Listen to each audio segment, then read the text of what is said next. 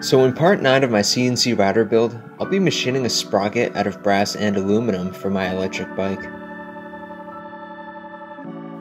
So in a previous video, I made a steel sprocket by hand for my electric bike.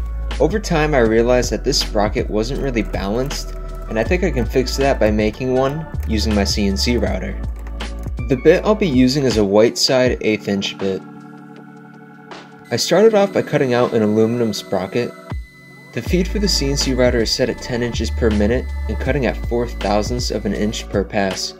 Overall, this speed and depth setting worked extremely well for aluminum and brass. Then I tested it on my electric bike. After one mile, this sprocket was extremely beat up, especially for such a short runtime. Now that the aluminum sprocket didn't work, I ended up researching other materials to use, and it seems like 360 brass is a lot stronger and harder with very similar machinability characteristics to aluminum. So after realizing this sprocket wouldn't work, I ended up machining another sprocket out of 360 brass.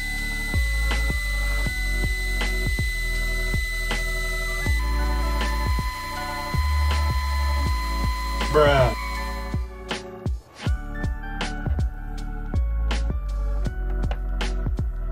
Then I sanded the sprocket to give an angle on each tooth.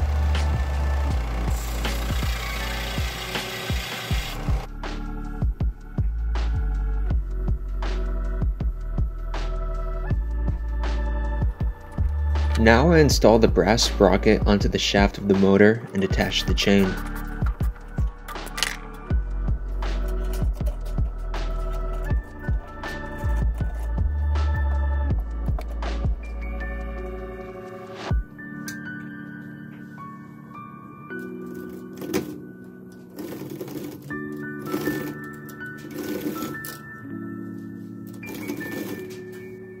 So now after riding for about 3 miles, I looked at the sprocket to see how it was holding up and I have to say I'm really impressed. Compared to the aluminum sprocket, this one is so much more durable. Overall, I'm pretty impressed on how my CNC router can now machine brass and aluminum. I hope you guys enjoyed this video, make sure to like, comment, and subscribe. I'll see you in the next one.